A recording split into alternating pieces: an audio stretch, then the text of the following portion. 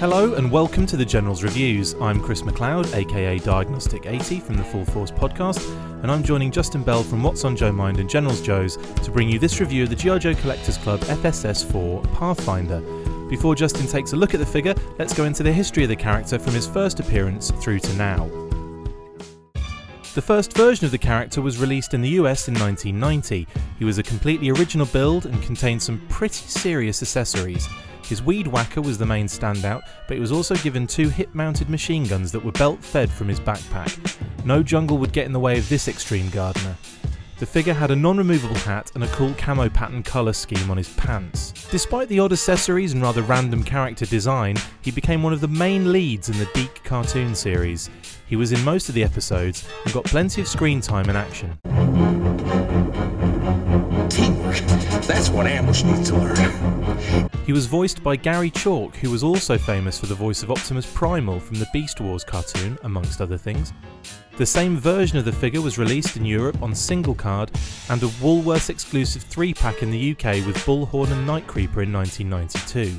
Wait, we've had Bullhorn, Pathfinder, and the repainted Nightcreeper with the Ice Ninja in this FSS so far. Coincidence? Yes, it probably is, but I am counting all three figures as a UK Europe homage. That makes six figures in total for FSS4 with Outback Sneak Peek and Jammer. Rule Britannia.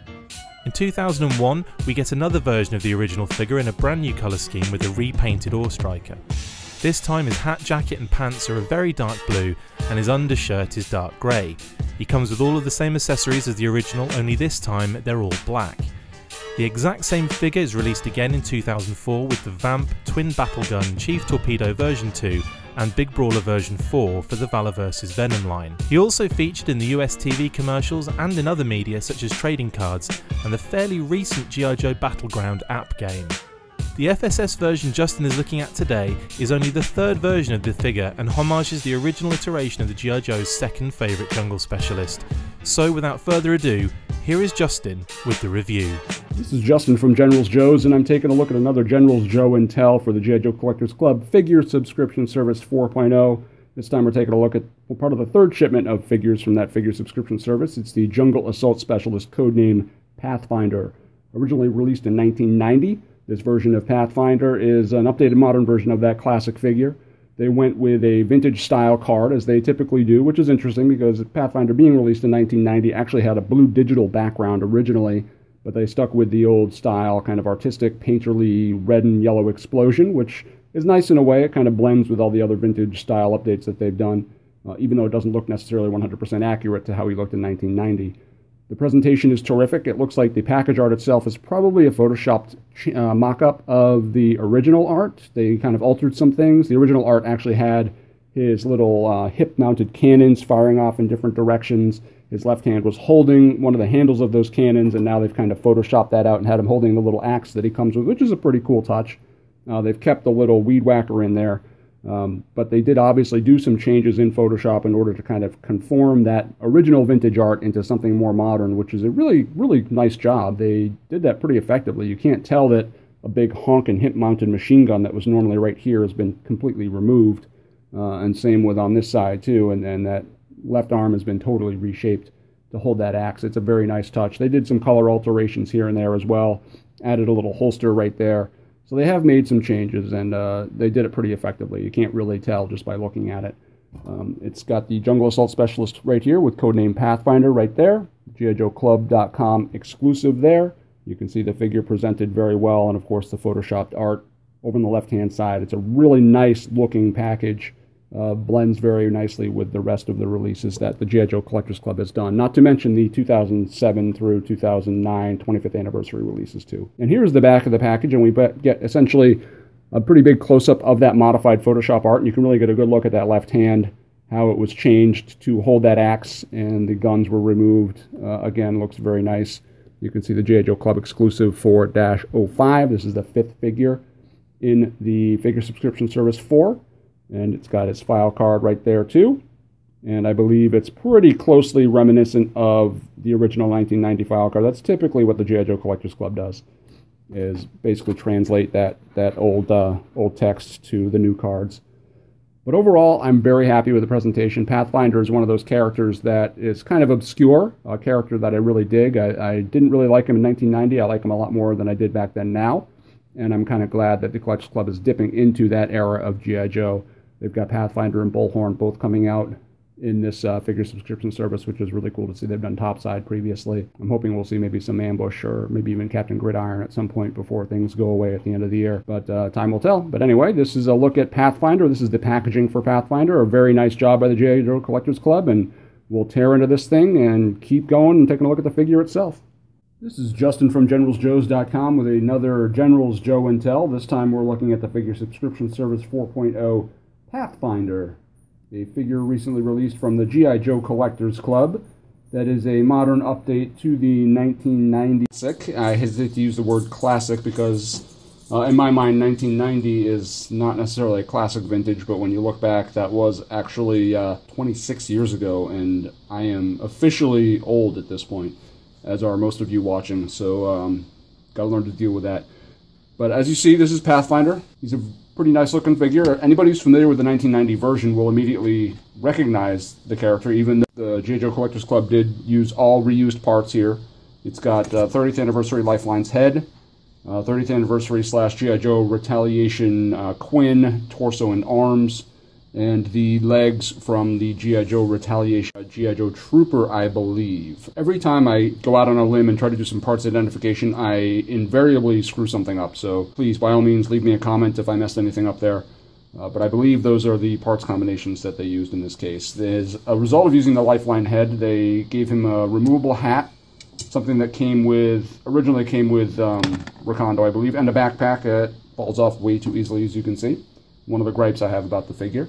Uh, the backpack is actually from the Pursuit Cobra Jungle uh, Duke, which is cool. It's a great backpack. I like the little elastic straps they've got going down here. Kind of um, adds a little touch of realism, makes it look like there's actual straps for the backpack.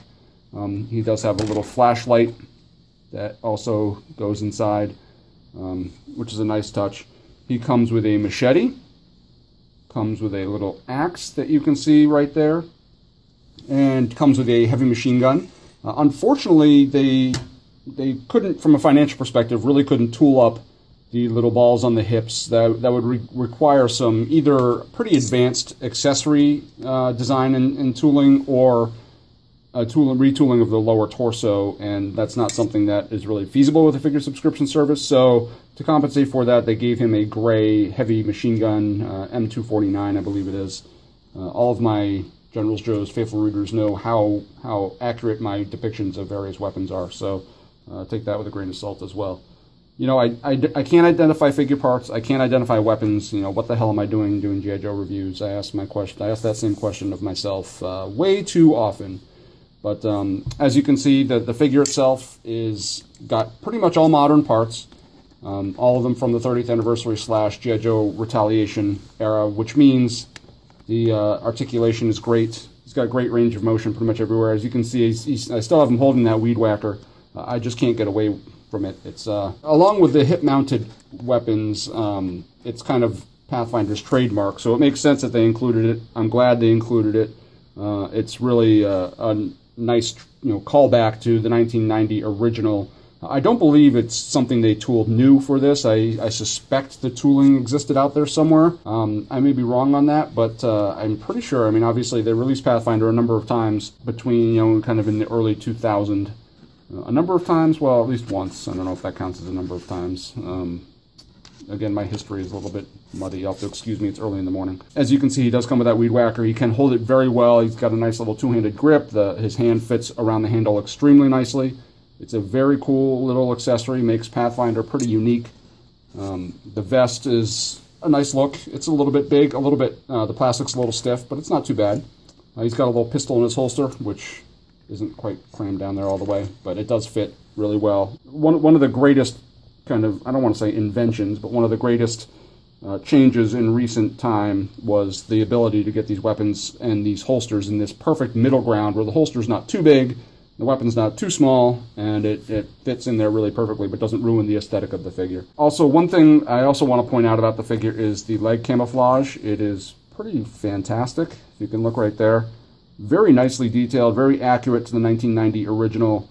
Um, it's a really, uh, really elaborate, really nicely decoed figure. Uh, obviously, the the leg camouflage is a pretty unique aspect of Pathfinder as well.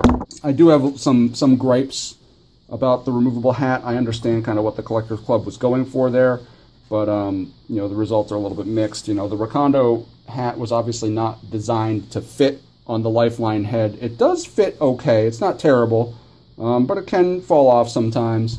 I actually find I have it set this way because that's more vintage accurate.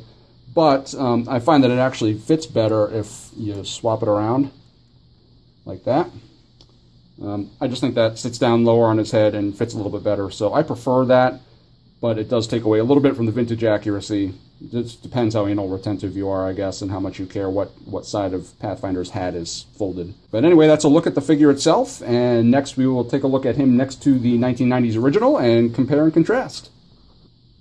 All right, now looking at the 1990s original version of Pathfinder, which you will see on the right-hand side compared to the modern version, you can see from color perspective, things are lined up pretty nicely. I do have a little dirty secret, and that is somebody, as somebody who's been collecting GI Joes for 34 years now, um, my O-ring collection is getting pretty scary. These guys just sit in a drawer essentially, but as you can see, there's a little bit of discoloration going on here.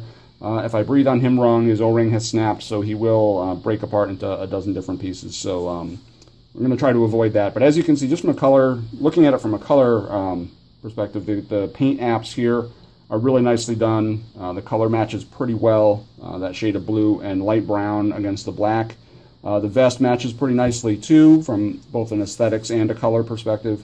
Um, I didn't swap the hats back around, so you can see his, his hat fold is on this side where his hat fold is on that side.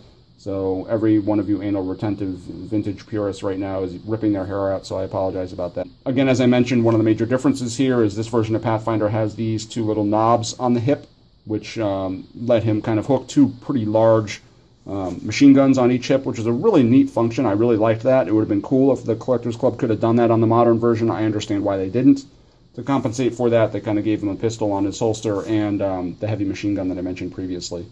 So uh, as you can see, you know, from just looking at it color-wise and overall design-wise, you know, the the G.I. Joe Retaliation Trooper legs do a good job of approximating these baggy pants. And ah, ah, ah, ah.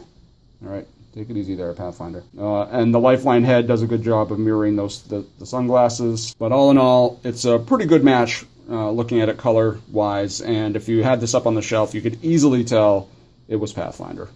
And that's the General's Joe and Tell look at the 1990 Pathfinder, the update from the G.I. Joe Collectors Club figure subscription service. I think the club did a really good job approximating the vintage look. I have a couple complaints, notably the loose fitting backpack and the hat that kind of flops off at a moment's notice. But by and large, this is a pretty decent update to the original, and I'm really glad the Collectors Club is dipping into 1990. The 1990 era of G.I. Joe uh, was one that I actually didn't really appreciate as a kid very much. Uh, they were all new characters, all pretty unfamiliar to me, uh, and their introduction in the DiC uh, animated series did them no favors. So I didn't find myself really latching on to any of them. I've learned to appreciate the 1990 series a lot more now as an older collector and seeing all the interesting accessories and all the new characters, all the fresh blood. Uh, that was pretty cool to see, uh, kind of looking back in time, seeing that not every figure was another Snake Eyes or Duke or um, whatever new iteration. They all kind of looked like evolutions of those classic characters. A lot of people say, you know, Pathfinder was kind of an updated Recondo. You had Free Fall, who could have been an updated Ripcord, so on and so forth. Sub Zero might have been an updated Snow Job slash Blizzard a lot of characters in that series could have been modern tweaks on the classic versions without just releasing new versions of those classic characters. It's kind of a new take, and it's something a lot of us are wanting to see these days from Hasbro. Uh, time will tell if that happens or not, but uh, meanwhile, the figure subscription service 4.0 has another pretty good figure on their hand with Pathfinder, and uh, I really think it's uh, it's been a lot of fun. It's really well well articulated uh, nicely designed. Uh, again, it is just a vintage update, which I'm not always extremely enthusiastic about, but in this case, they did a pretty good, jo- good job, and it's what collectors have been asking for, so who can fault them for that? So thank you once again for watching another General's Joe and Tell. Thank you for Chris to Chris McLeod from the Full Force podcast for all of his help putting these together. Uh, once again, if you like what you see, please consider subscribing to the channel. Please like the video. Leave me a comment if you think there's some stuff I could improve. Uh, I'm trying to just get bigger and better. And thank you very much for watching. I hope you enjoyed. Thanks for watching this review by Justin Bell of GeneralsJoes.com and What's on Joe Mind, and from myself, Chris McLeod, aka Diagnostik 80 from the Full Force. If you've enjoyed the video, please subscribe to the channel and let us know what you think on any of our numerous social networking platforms. Goodbye, and see you next time for another Generals Review.